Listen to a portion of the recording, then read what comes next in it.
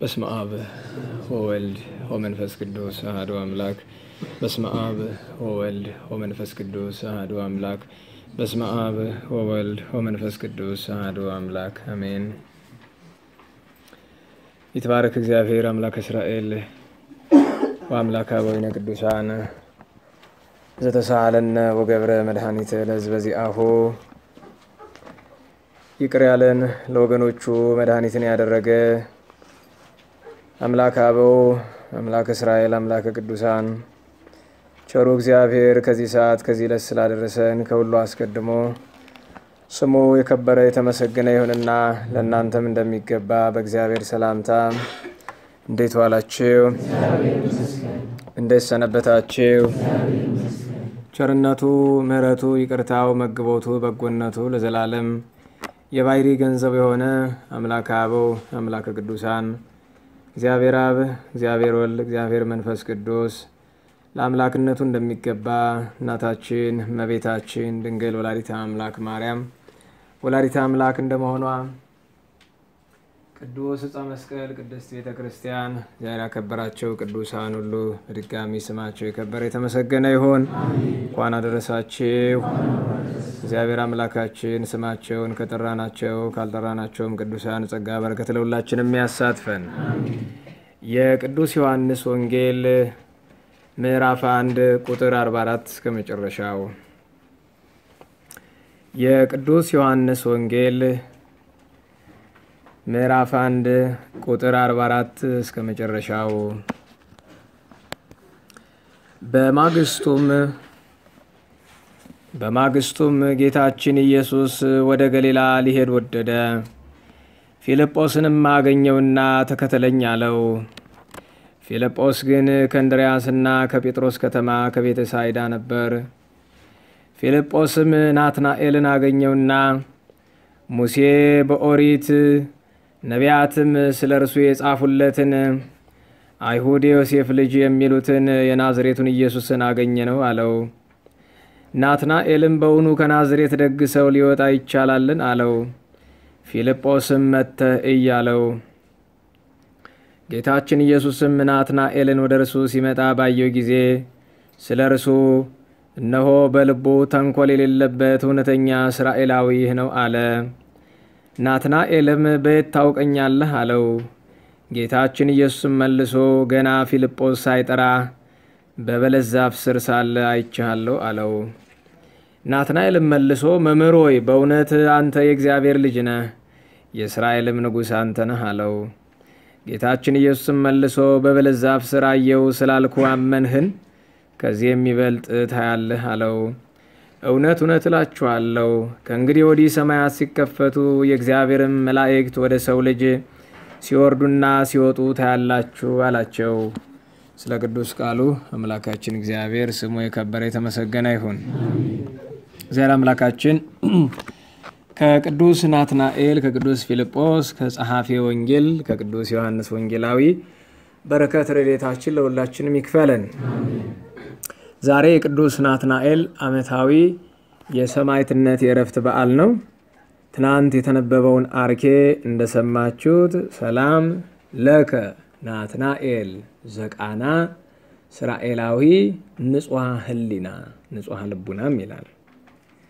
ከቃና ዘገሊላ የተገኘ ኦሪትን ነቢያትን የተማረ የዶኪማስ የዮአኪን ዘመድ የተባለ በስጋ ተዘምዶ ለድንግል ማርያም ቅርብ ዘመድ እንደሆነ የሚነገርለት ለስርዓተ ኦሪት እጅግ ቀናኢ ከመሆኑ የተነሳ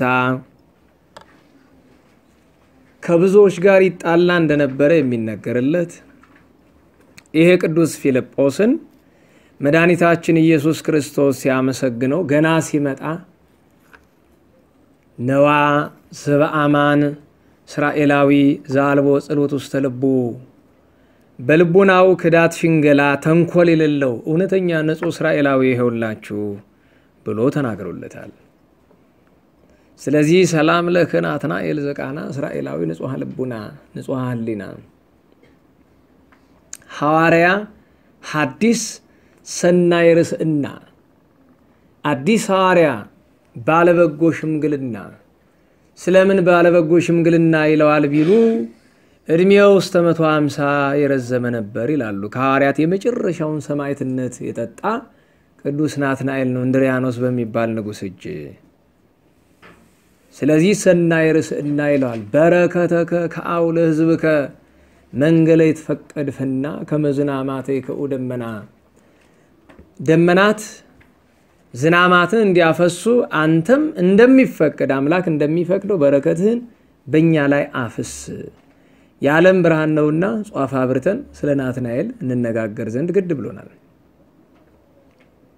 ቅዱስ ናትናኤል በሰማዕትነቱ በአስተምህሮቱ በቅናቱ ምክንያቱም መጽሐፍ ቅዱስ ላይ አስራ ሁለት ሐዋርያት ሲጠቀሱ አንድ ቦታ ላይ ምን ተብሏል? ቀናተኛው ስምዖን ተብሏል። ናትናኤል ሶስት ስም ነው ያለው። ቀሌዮጳ ይባላል፣ ስምዖን ይባላል፣ ናትናኤል ይባላል። እና ብዙ ጊዜ ቀናኢ ስምዖን፣ ቀናተኛው ስምዖን ነው የሚባለው። ለምን ቢሉ ለሕገ ኦሪት ኋላም ለሕገ ወንጌል ይቀና ነበርና ለሕገ ኦሪት ከመቅናቱ የተነሳ ሕገ ኦሪትን የሰደበውን ሰው አፍንጫውን በጡጫ ብሎ ገሎታል። ሰው እንዳያውቅብኝ ብሎ በበለስ እግር ቀብሮታል። የረሃብ ዘመን ቢመጣ በሬ ወስዶ በልቷል እዚያ ቦታ ሳይከፍል። በሄሮድስ ምክንያት የሕፃናት ቅትለት በሆነ ጊዜ እናቱ በቅርጫት አድርጋ እዚያች በለስ ላይ አንጠልጥላ አትርፈዋለች። ስለዚህ ጌታችን ሲያመሰግነው ንጹሕ ልቦና ያለው ክዳት፣ ሽንገላ፣ ተንኮል የሌለው ብሎ ሲያመሰግነው ወደ ውዳሴ ከንቱ ሳይገባ በአይቴ ተአምረኒ ወዴት ታውቀኛለህ ብሎ ተመራመረ ጌታችንን። መጀመሪያም የናዝሬቱን ኢየሱስ ክርስቶስን አገኘ ነው ብሎ ሲነግረው ይትከሃልኑ ይጻ ብእሲሄርም ናዝሬት ከናዝሬት እንዴት በጎ ሰው ይወጣል ብሎ ጠየቀ። ምክንያቱም ናዝሬት ማለት የቃሉ ትርጉም ሳይሆን በወቅቱ የነበራት ግብር ናዝሬት ማለት የወንበዴ ዋሻ የሆነች ከተማ ናት። ደህና ዋላችሁ። ናዝሬት ምን ነበረች? የወንበዴ ዋሻ፣ የሌባ መሸሻ ነበረች። እንደማን ዘንድሮ እንደማን እንደማን እንደማን ዘንድሮ የሌባ መሸሻ የወንበዴ ዋሻ የሆነ ከተማ ማን ነው? መቀሌ። አይ መቀሌ የበጎ ሰዎች መኖሪያ እንጂ የወንበዴ ዋሻ አይደለችም። መቀሌ የበጎ ሰዎች መኖሪያ ናት። መቀሌ ካለው በላይ አዲስ አበባ ማዕት ወንበዴ አለ። ባህር ዳር ማዕት ወንበዴ አለ። ኦሮሚያ ማዕት ወንበዴ አለ። ጎንደር ማዕት ወንበዴ አለ። ዘንድሮ ኢትዮጵያ ውስጥ ወንበዴ የለም የወንበዴ ዋሻ አይደለም የሚባል ከተማ የለም። ጎንደር የወንበዴ ዋሻ፣ ባህር ዳር የወንበዴ ዋሻ፣ አዲስ አበባ የወንበዴ ዋሻ፣ መቀሌም ያው፣ አክሱምም ያው፣ አዳማም ያው፣ ሐረርም ያው፣ ድሬዳዋም ሁሉም የወንበዴ ዋሻ ነው። እንዴት ማለት ጥሩ ነው። ፖለቲከኛ ሆኖ የማይዋሽና የማይሰርቅ የትኛው ከተማ ላይ ነው? እስኪ የሚሰርቅ ፖለቲከኞቹ ንጹሐን ናቸው፣ የህዝብ ገንዘብ አይነኩ የምትሏቸው የትኛው ከተማ ባለስልጣናት ናቸው? ደህና ዋላችሁ። የየትኛው ከተማ ባለስልጣን በራሱ ወንበዴ የሆነባቸው ከተሞች ምን ቁጥር አላቸው? አንድ ሁለተኛ፣ እንደ ከተማችን የሌላ ጣታችን ሳንጠቁም ጎንደር ውስጥ ወንበዴው ቁጥር የለውም፣ ሌባው ቁጥር የለውም። በጠራራ ፀሐይ ነው የሚዘርፈው። የመንግስት መሬት ይዘረፋል፣ የመንግስት ንብረት ይዘረፋል፣ የሰው ቤት ይዘረፋል፣ ሰው በየመንገዱ ይቀማል። አንዲት ከተማ የወንበዴ ዋሻ ሆነች የሚባለው ሌባ ሲኖር አይደለም። ሌባውን ተው የሚል ህዝብ ከሌለ ነው። ጎንደር ከተማ ውስጥ ሌባን ተው የሚል ህዝብ አለ? ንገሩኝ እንጂ በደንብ ንገሩኝ። ጎንደር ስለዚህ ምንድን ናት? የወንበዴ ዋሻ ናት። አይምሰልህ። እዛ ስማቸው የተጠሩ ሰዎች ስላሉ አይደለም። ጎንደር የወንበዴ ዋሻ ነው። አዎ ከሌባ ጋር ተስማምተህ የምትኖር ህዝብ አይደለ? ሌባ እየሰረቀ እያየ ዝም ብለህ የምታልፍ ሌባን ፖሊስ እንዲከላከልልህ የምትፈልግ ሌባን ሚዲያ እንዲያወራልህ የምትፈልግ አንተ ሌባህን ከቤት ሸሽገህ ስለ ሌብነት ክፋት ታወራለህ። ስለዚህ ናዝሬት የወንበዴ ዋሻ ነበረች። እንደማን? እንደ መላው ኢትዮጵያ። ከዚያ ምን አለው ቅዱስ ፊልጶስ? አይ ክርክር አያዋጣም፣ ነአ ትራይ አለው። ናና እ አለው። ሲመጣ አመሰገነው ጌታችን። ወደ ውዳሴ ከንቱ አልገባም። አሁንም ወዴት ታውቀኛለህ አለው። እምቅድመ ይጸውዕ ከፊልጶስ ርኢኮ ከበታሕተ ዕፀ ፊልጶስ ሳይጠራ ገና ወዴት አየው አለው? በዕፀ ስር። ለምን? አንድ እናትህ አይደለችም ያተረፈች፣ እኔ ነኝ ያተረፍኩ ለሐዋርያነት ስለፈለግኩ እንጂ ሕፃን ልጅ እናቱ በቅርጫ አድርጋ ትታው ስትሄድ አያለቅስም? ደህና ዋላችሁ። እንኳን ቅርጫት ላይ ያስቀምጠው ዞር ስትል አይደለም የሚል ሕፃን ልጅ እንዳታለቅስና ወታደር ድምፅህን እንዳይሰማ ያደረግኩ እኔ ነኝ። እወቅ። አንድ ሁለተኛ እዚያች ቦታ ላይ አፍንጫውን ብለህ የገደልከውን ሰው አውቃለሁ ሲለው ነው። ሶስተኛ በሬ ወስዶ ነበረ ብያቸዋለሁ ቅድም። አራተኛ እዚያች ጸበለሷ በዛች በለስ ስር ላይ ተቀምጦ ነቢያት የተናገሩት ትንቢት የቆጠሩት ሱባኤ ተፈጸመ፣ መሲህ ምነው ቀረ እያለ ይጨንቅ ነበር እና እዛ ሆነ ስታስብ ስላወቅኩ ነው ፊልጶስን የላኩብህ በመንፈስ ቅዱስ ነው። ያን ጊዜ ምን አለው? ረቢ አለ መምህር ሆይ አማን አንተ ውእቱ ወልደ እግዚአብሔር ወንጉሰ እስራኤል የእግዚአብሔር የባህሪ ልጁ የእስራኤልም ንጉስ ማለትም የእስራኤል ዘስጋ የእስራኤል ዘነፍስ በልቡናቸው ለዘላለም ነግሰባቸው የምትኖር ንጉሰ እስራኤል አንተነህ ብሎ መሰከረ። ጌታም መለሰለት ከበለስ በታች አየው ስላልኩ አመንክ? በጥቂትማ ተለል አትበል። አማን አማን እብለክሙ እውነት እላችኋለሁ እምይእዜሰ ትሬእዩ እንዘ ይትረኃዋ ሰማያት ከዛሬ ጀምሮ ሰማያት ሲከፈቱ ታያላችሁ። ወመላእክተ እግዚአብሔር እንዘ ያዐርጉ ወይወርዱ ሀበ ወልደ እጓለ እመሕያው ወደ ክርስቶስ መላእክቱ ሲወጡና ሲወርዱ ታያላችሁ ብሎ ተናግሯቸዋል። ሌላኛው ስለ ናትናኤል የምናውቀው ያዕቆብ ኤጲስቆጶስ በገንዳ ራሱ ተፈጥፍጦ ሰማዕትነት ከተቀበለ በኋላ የኢየሩሳሌም ቀጣዩ ጳጳስ ሆኖ የተሾመው ይሄው ቅዱስ ናትናኤል ነበረ። ረጅም ዘመን ያገለገለ ለኦሪትም የቀና ለወንጌልም የቀና ብዙ ያገለገለ ታዲያ ናስቲ ማን አሸሽልኝማ ወዲህን ድምፅ ማጓ ወዲያ አድርገው እንደ ልቤ ያላረገኝ ብሏል። መስራቱ ቢቀር ደግሞ አይከላከለኝ። አባታችን አፄ ገላውዲዮስ ምን አለ? አጠፋፋው፣ ያው የማይሰራ ከሆነ አጠፋፋው።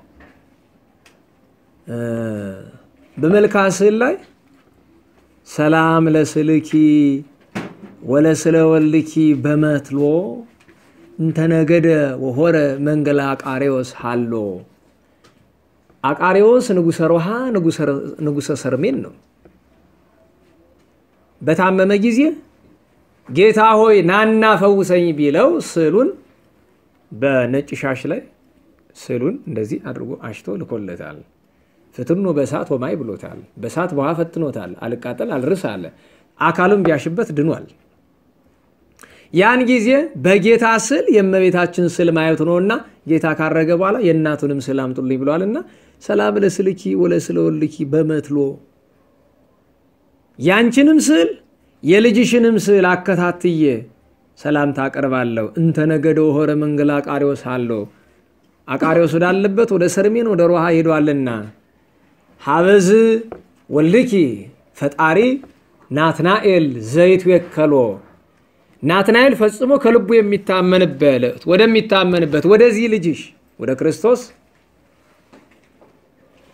ከመያበኒ ጸድቆ ጽድቁን ይሰጠኝ ዘንድ በጎውን ስራ እውነቱን ይሰጠኝ ዘንድ ወይ ጸግወኒ ሳይሎ ወይ ክፍለኒም ይላል። ምሕረቱን ቸርነቱን ይልክልኝ ይሰጠኝ ዘንድ ድንግል በእንቲአየ አብዝሂተን ብሎ ድንግል እመቤቴ ስለ እኔ መለመንን አብዢ። ደህና ዋላችሁ። ቅድም ስራ ቦታ ላይ ግዝ ስጠይቅ ሰምተው አንድ ገዳም ደውለው ተወራርደን እንዲያው ባክነን ገዳም ውስጥ ውርርድ ደግሞ እንዴት ያለ ነው? ምንድን ነው የተወራረዳችሁበት ነገር? ምን ሊጠይቁኝ ነው ብዬ ቅኔ ተምረሃል አልተማርክም? ኧረ እኔ አልተማርኩም። እና ግዙ ነው ግዝ ተማሩ። ደህና ዋላችሁ። ግዝ ተማሩ። የእውነቴን ነው። ልጁ ቅድም ምን አለኝ? ማንኛውን እንደዚህ ያልክ ግዕዝ እንዲማሩ ፈልገን ነበረ፣ ግን ጉባኤው ፈታብናል አለኝ ሰው አለ። ግዕዝ እናስተምር ተብሎ አስተማሪ ከተጠራ የመጀመሪያው ቀን 30 ሰው ከተማረ በሁለተኛው 25 በሶስተኛው ቀን 20 በአራት የመጨረሻ ማን ይቀራል? ሊቀመንበሩ፣ አስተባባሪው፣ መድረክ መሪው ብቻ ይቀራል። እስቲ ግዕዝ መማር የምትፈልጉ እጃችሁን አውጡ። በሉ እንየው። ጎረቤትን እያየ እያወጣ እሺ፣ አውርዱት አውርዱት። ሰኞና ማክሰኞ እንዲያው ለተወሰነ ጊዜ ግዕዝ ብትማሩ እሳቸው የኔታ እስከሚመጡ ድረስ ዕቅበተ እምነት ወይም ሌላ ሐሙስም ቢሆን ባለው ቀን ሁሉ ለምን ግዕዝ አትማሩ? ቅድም እዚያ በጥያቄ እስቲ በእንግሊዝኛ ደህና አደርክ በለኝ አልኩት። Good morning አለኝ። እሷን በግዕዝ ድገማት እስኪ አልኩት። ኧረ አላውቀውም አለ። በግዕዝ እንዴት አደርክ ለማለት ምንድን ነው መልሱ? እፎ ሀደርከ። ለሴት ሲሆን እፎ ሀደርኪ። ለወንድ ብዙ ሲሆን እፎ ሀደርክሙ። ለሴት ብዙ ሲሆን እፎ ሀደርክን። አይደለም ቀላል እኮ ነው። አስሩን ቤት ማጥናት እኮ ነው። መደብ የሚባላል በአማርኛ መደቡን መጀመሪያ ማጥናት ነው። አንደኛ መደብ ነጠላ ብዙ፣ ወንድ ሴት መለየት ነው ለግዕዝ። ምክንያቱም በአማርኛና በእንግሊዝኛ ነጠላ ብዙ ከለየ ወንድ ሴት አያስጨንቅም። ስለዚህ አንደኛ መደብ አንደኛ መደብ ማለት እኔ፣ አንቺ፣ አንተ፣ እናንተ አይደለም። እኔ በማለት ፈንታ አነ በአባ አጠራሩ ከሆነ አነ ተብሎ ተነስቶ ነው። ለሴት አንቲ፣ ለወንድ አንተ ነው። ያው ለወንድ ብዙ አንትሙ፣ ለሴት ብዙ አንትን። ግን አንደኛ መደብ እኔ እኛ ነው። አነ ንህነ ነው። ቅድም የተናገርነው ሁለተኛ መደብ ነው። ሶስተኛ መደብ ለወንድ ውእቱ ለሴት ይእቲ፣ ለወንድ ብዙ ውእቶሙ፣ ለሴት ብዙ ውእቶን። በቃ አለቀ። ከዚያ በኋላ እነዚህ ግስ አርዕስት የሚባሉ አንቀጾቹ አለ አንቀጾቹን ማጥናት ነው። ከዚያ በኋላ የግዕዝ ቋንቋን ከለመድከ ቅኔና የግዕዝ ቋንቋን ለየታቸው ይ ቅኔ የተራቀቀ እውቀት ነው። ግዕዝ መማር ቅኔ ሳትማር ግዕዝ መማር ትችላለህ። አማርኛን የተማርከው እኮ ቅኔ ተምረህ አይደለም። እንግሊዝኛ የምትማር እኮ ቅኔ ተምረህ አይደለም። ቅኔ መጻሕፍትን የማፍታታቻ ቁልፍ ምስጢር ነው። የተለየ እውቀት ነው። እሱ ልዩ ደረጃ ነው። ግን የግስ ጠባይ ካጠና፣ አንቀጾቹን ካጠና፣ እርባታውን ትንሽ ካወቅ ከዚያ በኋላ የሚጠበቅብህ ሁለት ነገር ነው። አንድም ልምምድ፣ ሁለትም ንባብ ነው። ብዙዎቻችን ግዕዝ የተማርን በንባብ ነው። ያም ሆኖ ስንናገር መምህራን አንዳንድ ጊዜ እችን እንደዚህ ብትላት ነበር የሚሻል ይሉናል። ቅኔ የተማሩቱ ለምን አማርኛ ስናገር አሁን እኮ አንድ ስብከት ላይ ስህተት ብትፈልጉ 50 60 ስህተት አጣ። ግን ለተግባቦ ስለሆነ የምንፈልገው ስህተት አንቆጥርም። ግዕዝና እንግሊዝኛ ግን ስህተት ይቆጠርለታል። ይሄ ነው ትልቁ ቋንቋውን እንዲሞት ያደረገው። እንዳንናገረው ደፍረን እንዳንናገረው የሚያደርገን ምንድን ነው? የተማሩ ሰዎች እንግሊዝኛና ግዕዝ የተማሩ ሰዎች ቁጭ ብለው ስህተት ይቆጥራሉ እንጂ እኮ የምንናገረው አማርኛ አብዛኛው በሰዋሰዋዊ እይታ እኮ ስህተት ነው፣ ፍጹም ስህተት ነው። እና ግዕዝ እንልመድ። አሁን አንዳንድ ጊዜ ሲተረጎም ስትሰሙ ይመጣል። እዚያ በኋላ መንፈስ ቅዱስ ደግሞ ይረዳል። እንዲሁ ሞኛ ሞኛ አትሆኑ። ትንሽ አንተ ጥረት አድርግ፣ በጎ ፍላጎት ይኖሩ፣ ጸልይ። ከዚያ መንፈስ ቅዱስ ጣል ያደርግልሃል፣ ሰጣል። ምን አለ መንፈስ ቅዱስ ቸር አደለ ሀጥ ጻድቅ አይል። በእርግጥ ስመ ምስጢራት ይትከሰታ ለትሑታን ዋኮ ለቡያን ይላል መጽሐፍ። ምስጢራት የሚገለጡ ለትሑታን ነው። ትሑት ሰው ደግሞ ይጸልያል። የትሕትና መገለጫው አንዱ ጸሎት ነው። እኔ አልችልምና እባክህን ብሎ መጸለይ ነው። እችን እንልመድ። ወደ ዋናው ትምህርት ከመግባቴ በፊት የቅዱስ ናትናኤል በረከት ይደረብን። ወደ ዋናው ትምህርት ከመግባቴ በፊት አንድ ነገር ልጨምር። ዛሬ አንድ ወጣት ተቀብሯል። እዚህ ሰምታችሁ ከሆነ ያው ራሱን አንቆ ገሎ ነው። ማን እንደሆነ አላወኩም። እኔ አንድ እውነት ላስረዳችሁ። የዚህ ዓለም የመጨረሻው ኃጢአት ፈጽሞ በእግዚአብሔር ፊት ምሕረት የሌለው ራስ ማጥፋት ነው። ለምን በሉ ብዙ ጊዜ አይታችሁ ከሆነ ራሱን ያጠፋ ሰው በቤተክርስቲያን ፍትሐት አይፈታም አይደለም። ለምን ይመስላችኋል? ሲጀመር አለመፈታት ብቻ አይደለም፣ ቅጽረ ቤተክርስቲያንም አይቀበልም። ፍትሐ ነገሥት ስትማሩ ታስታውሱ ከሆነ በአፋን ግን ራሱን ያጠፋ ሰው ብቻ አይደለም፣ አስራት በኩራት የማያወጣ እስካሁን ደግሞ የማይቀበል ንስሐ ያልገባ ሰው ቅጽረ ቤተክርስቲያን አይቀበርም። ቅጽረ ቤተክርስቲያን ስላችሁ እንደ ስርዓተ ቤተክርስቲያን ቅጽሩ አይቀበርበትም። ሶስተኛ ቅጽር ነው መቃብር ማለት። በአፋ ነው የሚቀበር። እንደ ከኢጥሙቃን ወዲህ ንስሐ ከገቡ ከበጎ ሰዎች ወዲያ ነው የሚቀበር እንጂ ዝም ብሎ አምጥቶ እዚህ መዶል የለም እና ወጣቱ ቅር ይለዋል። እንዴት አይፈታም ይላል። አይሆንም። በዚህ ዓለም ካሉ ኃጢአቶች ሁሉ የከፋው ራስን ማጥፋት ነው። ራስን ማጥፋት ደግሞ ቀቢጸ ተስፋ ነው። በነገራቸው ላይ ሁሌ ላለው ሰይጣን ዝሙት ሊያሰራ ይችላል። ከመቶ ሴት ጋር እንድትተኛ ከመቶ ወንድ ጋር እንድትተኝ ሊያደርግሽ ይችላል። ፈጣሪ አይበለው እንጂ ይሄ ለሰይጣን ስኬት አይደለም። ምክንያቱም ንስሐ ብትገባ ሙጥጥጥ አድርጎ እግዚአብሔር ገደል ነው ሁሉ ኃጢአት። ሰው ብትገድል ንስሐ መግባት ትችላለህ። ግደልና ንስሐ ግባ እያልኩ አይደል። ሁሉም የምታደርግ እንኳን ሌላ ኃጢአትን ሰርተህ ለጥቂት ደቂቃ ተጸጽተ ብትሞት ያችን ጸጸት ምክንያት አድርገው ቅዱሳን ሊያማልዱ ካህናት ሊያማልዱ ይችላሉ። ራስን መግደል ግን ኃጢአቱ የሚጠናቀቀው ነፍስ ከስጋ ሲለያይ ነው። እስመ ድኅረ ሞቱ ለሰብአ አልቦቱ ንስሐ የሰው ልጅ ከሞተ በኋላ ንስሐ የለውም። በቃ ለዛ ነው ቤተ ክርስቲያን አልፈታም። ይሄ የይሁዳ ምሳሌ ጠዋት አባታችን አባት ስማ ሲናገር ሰምታችሁ ይሆናል። ራሱን የሚያጠፋ ሰው ይሁዳ ነው። ጥፋቱ ቀላል እንዳይመስላችሁ የመጨረሻው ጭካኔ የራስ ማጥፋት ነው። ምክንያቱም የሰው ልጅ የመጨረሻ እስኪ እንደ በሞት የራሳችሁን በጥፊ አክርራችሁ መምታት ትችላላችሁ? አትችልም። ሌላ ሰው በደንብ እንደሚመታችሁ አድርጋችሁ መምታት አትችሉም። ሰው ራሱ ላይ መጨከን አይችልም። ከባድ ነው። ወይ ፍጹም የኃጢአት ደረጃ ላይ ሲደርስ ወይ ፍጹም የቅድስና ደረጃ ላይ ካልደረሰ በቀር ራሱ ላይ አይጨክንም። ስለዚህ ቤተ ክርስቲያን አልፈታ የምትለው ለዚህ ነው። እናስተውለው። ሰይጣን ኃጢአት አሰርቶ አይረካም። የሚረካው አንተን ተስፋ ያስቆረጠ ቀን ነው። ምክንያቱም ተስፋ የቆረጠ ሰው ሃይማኖቱን ከካደ የከፋ ነው።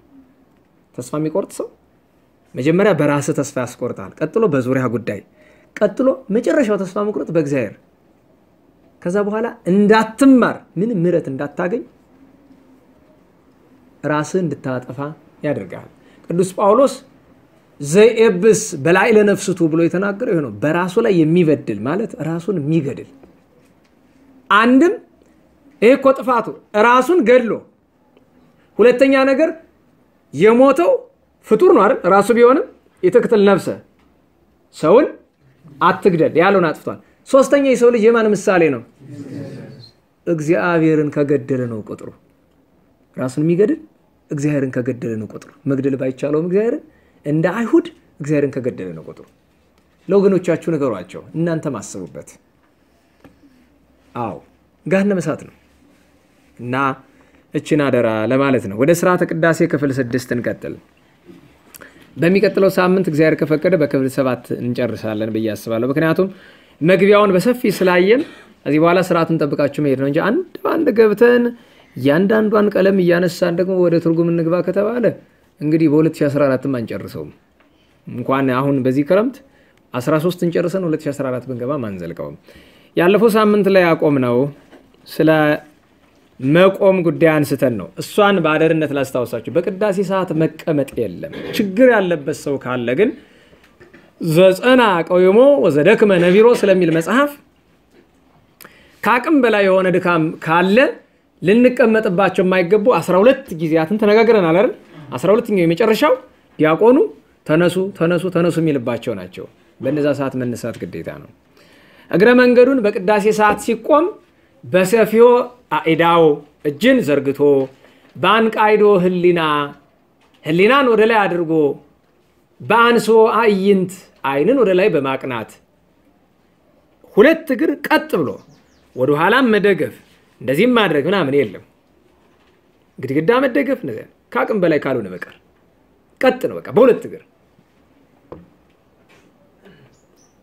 ወይኩን እገሪነ ተኩለ ውስተ ቤተ ክርስቲያን እንዳለ ቅዱስ አትናቴዎስ ዘቅዳሴ በቃ እንደዚህ ቀጥ ነው። በቃ የማይቻል ነገር አይምሰላችሁ። ለህመም ካላችሁ እኛን ያሳደጉን አባቶች አብዛኞቹ ወገብ በሽተኞች ናቸው፣ ግን ቅዳሴ ሰዓት አይቀመጡም አይቀመጡም። ከሁሉ በላይ የሚያስገርመኝ ነገር ብዙ ምዕመናንን ተመልከቷቸው። መቀመጥ የሚቻልባቸው ሰዓቶች አሉ። ምሳሌ በጣም ሰው ከደከመው ለምሳሌ ምንባባት ላይ ጳውሎሱ፣ ጴጥሮሱ ግብረ ሐዋርያት ሲነበብ ሊቀመጥ ይቻላል፣ ከአቅም በላይ ነገር ከገጠመ። ከምንም በላይ ግን እንድታስታውሱት የምፈልገው ነገር ስግዱ በሚባልበት ሰዓት ደግሞ አትቀመጡ ባካችሁ። ስግዱ ሲባል ከምትቀመጡ ዘንበል ብላችሁ ቀሩ። በቃ መጎንበስ የማይሆንላችሁ ከሆነ ህመም ካለባችሁ የራስ መርዘን ያለበት ሰው ድንገት ካለ እንደዚህ መሬት መጎንበስ ግን ደግሞ አይቻልም። እንዴት ሰው እድሜ ሳይጎነበስ መቼም አይኖርም። ያን ያህል ችግር ያለበት ሰው ካለ ቆሞ ዘንበል በሉ እንጂ ስግዱ ስትባሉ አትቀመጡ። ይሄ በእግዚአብሔር ላይ መዘበት ነው። በተለይ ተማሩ የምትሏቸው ሰዎች ከትልልቅ ምሁራን ጀምረው ስግዱ ሲባል ሂደው ዝርፍጥ ወንበር ላይ በጣም ነውር እኮ ነው። እና እሱ እንድታስቡት አደራ ቀሪዎችን አጭር ባጭር አጭር ባጭር እያለን እንሄድ። አንደኛው የክንብንብ ጉዳይ ነው። በቅዳሴ ሰዓት መከናነብ ይቻላል ወይ ከተባለ ለሴት ልጅ አዎ ይቻላል ብቻ ሳይሆን ግዴታም ነው። ሴት ልጅማ በማንኛውም ጊዜ ክንብንብ ግዴታዋ ነው። በነገራችሁ ላይ ክንብንብ ቤተ ክርስቲያን ላይ ብቻ የምታስመስሉ ሰዎች ታስገርሙኛላቸው። አንዳንድ ሰባኪም እንደዛ ይላል አሉ አሉ ነው እንግዲህ ክንብንብ ለቤተ ክርስቲያን ብቻ በአደባባይ ገልጠሽ ልትዞሪ ማን ያለው?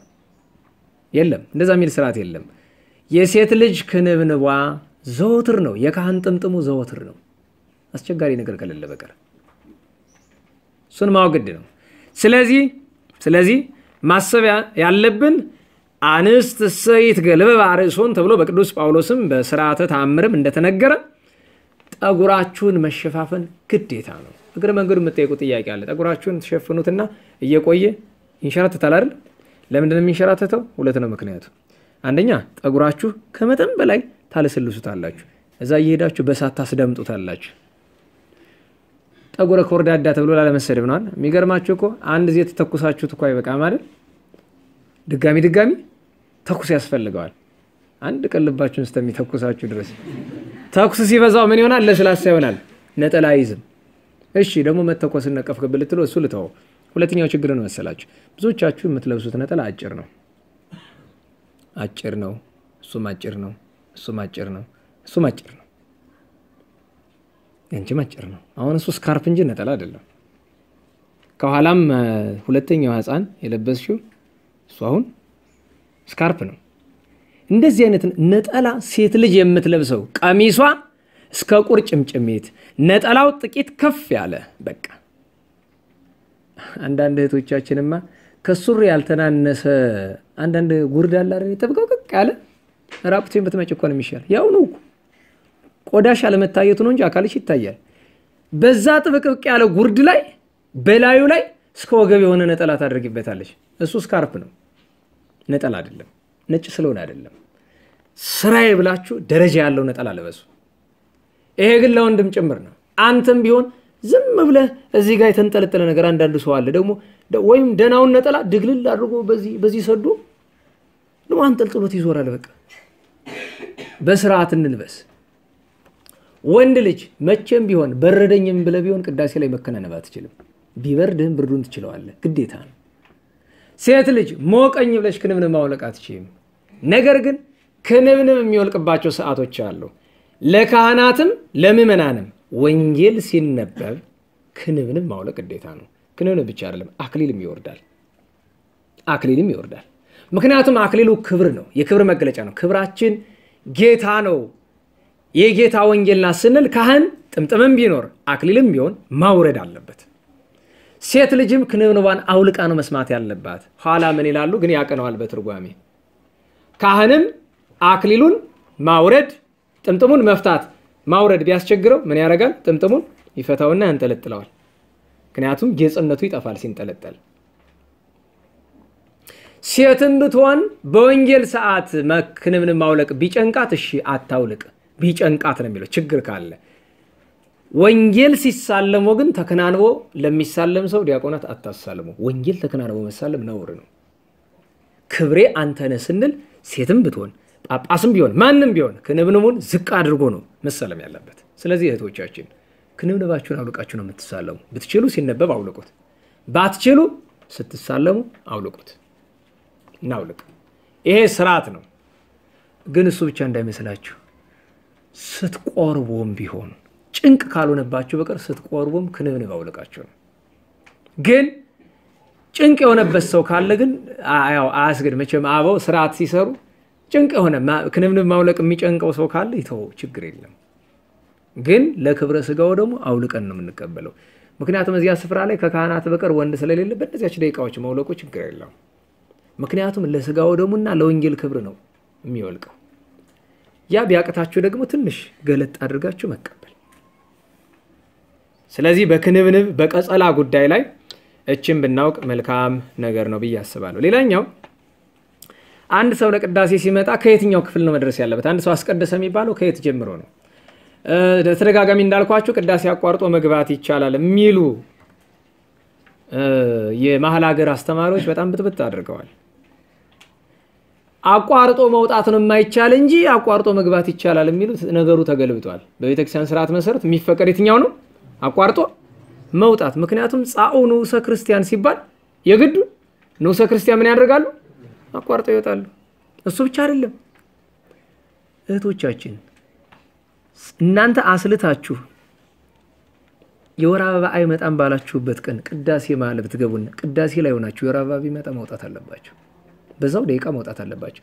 ወንድሞቻችን እያስቀደሳችሁ ነስር ቢመጣ መውጣት አለባችሁ። ወይ አካላችሁ በሆነ ምክንያት ቢደማ መውጣት አለች። የእግዚአብሔር ቤት ላይ የማንም ሰው ደም አይፈስም። የትኛው ደም ብቻ ነው የሚፈሰው? የመድኃኔ ዓለም ክርስቶስ ደም ብቻ ነው የሚፈሰው። ደም የሆነ ነገር ከመጣ መውጣት አለብን። አንድም ይላሉ አስጨናቂ ደዌ ቢመጣ በጣም አስጨናቂ ደዌ ቢመጣ ዲያቆኑ አይቶ ይፈቅዳል። አስተባባሪው ዲያቆኑ ስለሆነ አይቶ በቃ ይውጣ ትውጣ ሊል ይችላል። በእነዚህ ምክንያቶች መውጣት ይፈቀዳል።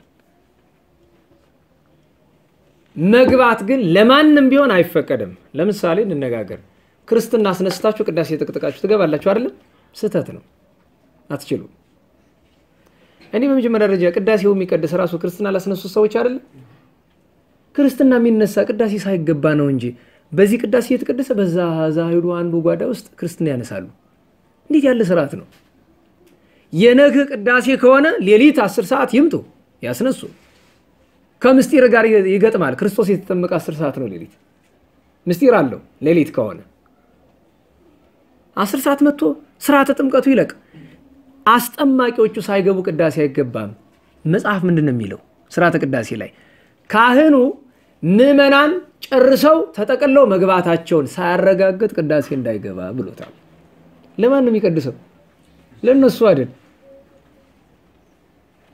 ምዕመኑ ሳይገባ መጀመሪያ ልኡካኑን ይይ። የሚራዳው ካህን የሚራዳው ዲያቆን እንዳለ ይይ። ቀጥሎ ምዕመናን ገብተዋል ብሎ ዲያቆንን ይጠይቅ። ዲያቆኑ እርግጠኛ ከሆነ በኋላ ከዚያ ካህኑ ልብሱን ትከሻው ላይ አድርጎ ማሩኝ ማሩኝ እያለ መጀመሪያ ካህናትን ቀጥሎ ዲያቆናትን ቀጥሎ ሕዝቡን ማሩኝ ይላቸውና ይገባል። ክርስትና የሚያስነሱ ሰዎች ሳይገቡ ቅዳሴ አይገባም። ይሄ ነው ስርዓቱ። እንግዲህ ዘቦ እዝን ሰሚ አለ ነው። እንግዲህ ጆሮ ያለው መስማትን ይስማ። በቃ እንደ ባለፈው ሳምንት ቁጣ እንዳትጠብቁ። አልቆጣም፣ ትቻለሁ። አይዟቸው። ደግሞ ሳምንት በእርግጥ መጥቼ ቆጣ ይሆናል አይታወቅም። ለዛሬ ግን የለሁበት ምክንያቱም ሰሞኑን ቁጣ ትንሽ ጨጓራዬን አልሆነ ነገር አድርጎ ስለሰነበተ ነው። ለራሴ ጥቅም ነው። አይዟችሁ፣ የማልቆጣው ለእናንተ አይደለም። ስለዚህ እሱን ያዝ። ቅዳሴ ሳ ምን ሰዓት ይጀመር ቢባል ቅዳሴ የሚጀመረው ካህኑ ከመግባቱ አስቀድሞ ምዕመናን ቢገቡ ይመረጣል። ምክንያቱም ካህኑ ከገባ በኋላ እያንዳንዱ የሚያነባቸው ነገሮች ስለነሱ ናቸው። በእነሱ ላይ የሚጸለይ ነው። ጸሎተ ንስሐ በሚደገምበት በከመ አዘዙ አበዊነ ግብፃውያን የምትለው ስርዓት ስትነበብ ያልሰማ ሰው መቆረብ አይችልም። የለም ጸሎተ ንስሐ ሳይደገምል እንዴት ብለህ ነው? አይሆንም። ስለዚህ መቼ እንምጣ? የነግህ ቅዳሴ ከሆነ መምጣት ያለብን ተአምረ ማርያም ሳይነበብ ነው። ታዲያ ቅዱስ ባስሌዎስ የተናገረውን ይዞ ፍትሐ ነገሥት አንቀጽ 12 ላይ በስርዓተ ቅዳሴ ትምህርት ላይ እንዲህ ይላል። ዘኢነበረ እምጥንተ ቅዳሴ ይባ ቅዳሴ ሲጀመር ያልነበረ እንዳይገባ ይላል። ወደ ቅዳሴ እንዳይገባ እንዳይገባ ብሏል። ጥንተ ቅዳሴ የቅዳሴ መጀመሪያ ምንድን ነው ትሎ ጥንተ ቅዳሴ እመቦ ብሲ ነው። አይ እመቦ ብሲ ላይ ደርሶማ እንዴት ይሆናል ቢሉ ጥንተ ቅዳሴ ማለት ኪዳን ነው። ኪዳን ሳያደርስ እንዳይቆርብ እንዳያስቀድስ። አይ የለም እሱም አይደለም። ጥንተ ቅዳሴ ማለት ታምረ ማርያም ነው። ምክንያቱም ማንኛውም ሰው በኢትዮጵያ ኦርቶዶክስ ተዋሕዶ ቤተክርስቲያን አስተምሮ መሰረት ከመቁረብ በፊት ምን መስማት አለበት? ታምረ ማርያም። ምን ማድረስ አለበት? ኪዳን። ስለዚህ ላደለው እንኳን ለሚቆርብ ለሚያስቀድስ ሰውም ቢሆን ታምሯን ሰምቶ ታምረ ኢየሱስ አድምጦ ኪዳን አድርሶ ጸሎተ ንስሐ በእንተ ስርዓተ አበዊነ ግብፃውያን ተደግሞለት ነው መግባት ያለበት። ይኸው ነው። ጭንቅ ቢሆን እንኳ ከቤተልሔም እንዲያው ለማስቀደስ እንዲያው ጭንቅ ቢሆናችሁ ከቤተልሔም ገና ሰኞ፣ ማክሰኞ፣ ሐሙስ የሆነ እንደሆነ ምንበሃ ሲሉ ረቡዕ፣ ዓርብ፣ ቅዳሜ የሆነ እንደሆነ መስቀል አብርሃ ሲሉ እሁድ የሆነ እንደሆነ ኩሉ አለ ጽድቅ ሲሉ በዚህ አሻሽ ተሯርጦ መግባት ነው። ብዙዎቻችሁ ግን አህዱ ተብሏል። አህዱ እኮ የቅዳሴ መጀመሪያ አይደለም፣ የቅዳሴ እኩሌታ ነው። ከአህዱ በፊት ስንት ስርዓት አለው ስለዚህ አስቀድመን መግባት ይጠበቅብናል ለማለት ያክል ነው። ይችን ካነሳን ዘንዳ ጥቂት ሌሎች ተጨማሪ ነገሮችን እንይና እንጨርስ። በቅዳሴ ጊዜ ከሚደረጉ ነገሮች መካከል ቡራኬ፣ እማሬ፣ ዑደትና ዕጣን ላይ ብቻ ጥቂት እንነጋገር። የመጀመሪያው ቡራኬ ነው። በነገራችሁ ላይ እንድታውቁት የሚያስፈልገው ነገር ዲያቆናት በእንተ ቅድሳት እኔ በቀደም ለልጆች ነግሬያቸዋለሁ። ጳውሎሱን ካነበባችሁ በኋላ ተንሶ የምትሉ ፊታችሁን ወደ ምስራቅ ዙራችሁ ነው። ለምንድን ነው? ማን ነው እንዲህ ያለ ስርዓት ያስተማራችሁ? ዲያቆናት እያፈራችሁ ነው እንዳይባል አይመስልም። ጳውሎሱን አንብባችሁ ቅዱስ ሐዋርያ ጳውሎስ ሲባል ምናልባት ሀፍረትም ካለባችሁ ወደ ቤተ መቅደስ ገብታችሁ ተንሶ ማለት ትችላላችሁ። ግን ተንሶና ጸልዩ በምንም ምክንያት ወደ ህዝብ ተዞሮ ነው የሚባለው። ምክንያቱም ትእዛዝ ነው። አሁን እኔ እንደዚህ ብዬ ላስተምራችሁ እችላለሁ፣ ላዛችሁ እችላለሁ። ትእዛዝ ፊት ለፊት ነው፣ ፊት ለፊት ነው። እሱ ብቻ አይደለም። ዲያቆኑ በእንተ ቅድሳት እያነበበ ከውስጥ ንፍቁ ወይ አስመልካችሁ ጸልዩ በእንተ ሰላም ቤተ ክርስቲያናት ቅዱስ ጉባኤ ማን በላለ? የሰራዩ ዲያቆን አይደለም። ሰራዩ በእንተ ቅድሳት አንብቦ ጨርሶ ይገባል። ሰራዩ ይህን ከጨረሰ በኋላ ነው ጸሎተ ዕጣን የሚጀምረው። ጸሎተ ንፎራን አንብቦ ቆይቶ ጸሎተ ዕጣን የሚጀምረው በዚህ ሰዓት ነው። አስርቆት በዚህ ሰዓት ነው። በእንተ ቅድሳት ካለቀ በኋላ በእንተ ቅድሳት ካለቀ በኋላ ኤጲስቆጶስ ወይም ሰራዩ ካህን ዲያቆኑን ይጠቅሰዋል። ንትነሳ አንከ በመንፈስ ቅዱስን እየደገመ ይገባል። ፊቱን ወደዚህ አዙሮ ይገባል። ገብቶ ጸሎተ ዕጣን ተደግሞ ዕጣን ካረገ በኋላ ዲያቆኑ እየታጠነ አብሪ ዲያቆን ከፊት ከፊት እየሄደ ከዚያ ሰራኢው ካህን ከዛ ከኋላው ሰራኢው ዲያቆን ምሳሌነት ነው። አብሪው የቅዱስ ዮሐንስ መጥምቅ ነው። ስመውቱ ማሂቶት ዛይሃቱ ብሎ ጌታችን በዮሐንስ ወንጌል ምዕራፍ አምስት ላይ ዮሐንስን ምን ብሎታል? ጧፍ ነው፣ መብራት ነው፣ ብርሃን ነው ብሎታል። ስለዚህ መብራት ይዞ ዮሐንስ መጥምቆ ምሳሌ ይዞራል። ቀጥሎ ያለው ካህኑ ዋናው ካህን የጌታ ምሳሌ ነው።